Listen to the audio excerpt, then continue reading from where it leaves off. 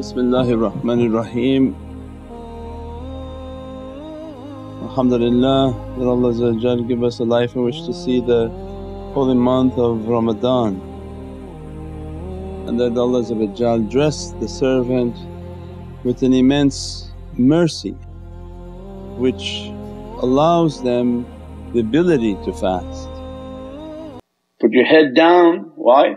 Because you're nazar bar qadam, why put your head down?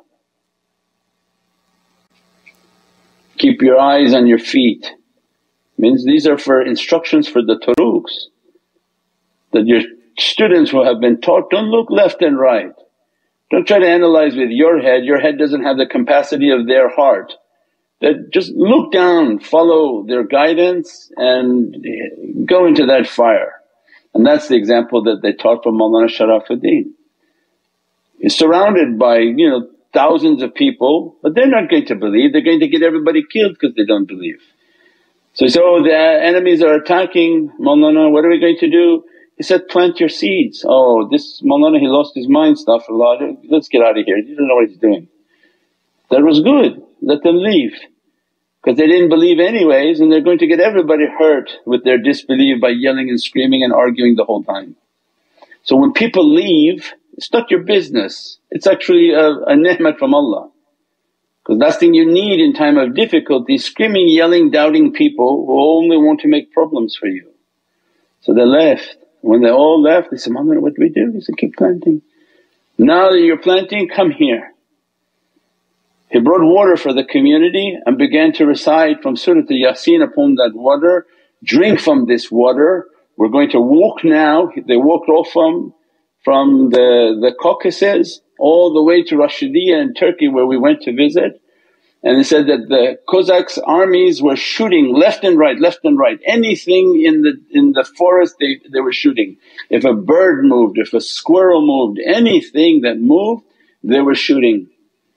And Mawlana Sharafuddin Sultan al-Awliya walked with his people through all the brushes and everything, not a single word from their mouth but they were making footsteps I'm sure everybody could hear but Allah didn't want them to hear because Allah wrote the program. So with their yaqeen and their certainty and their belief in the way they didn't question, they didn't ask, they just believed. That level of belief they walk safe, not one person shot, not one person harmed. It's not a time for fighting if anyone's listening and say, oh are these people gonna fight? No, the people who fight let them kill each other. This is about not being visible, not being in, involved with Dajjal and the fitna what Dajjal is bringing upon the earth. But to lose your visibility to the inhabitants of earth require an extreme amount of faith in which what you recite has a power, in which what you recite veils you from their satanic plan and their satanic ordinance and coordinates. Not to use your head.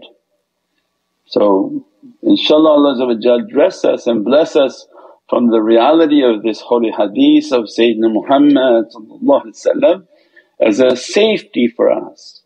That every fire that presented by the Dajjal system know that there's a paradise in that reality and not to be feared. But it requires a strength within the heart not to question, not to let your mind enter into its fear and even to drink and to taste from its fear. Because once the fear comes in it's a poison that can never be taken out. So anyone who thinks that they can deal with a little bit of the fear, I just want to know you're wrong, you don't understand what shaykhs are teaching. If you taste from the fear you can't take it out of you. You imagine like it's an afreet because everyone needs like an example, I don't know what you're talking about. Imagine like you put a little devil, he's a fear, you say, I'm just going to bite this devil's foot. Ugh. Well now he's in you and he re- replicates and multiplies himself within you.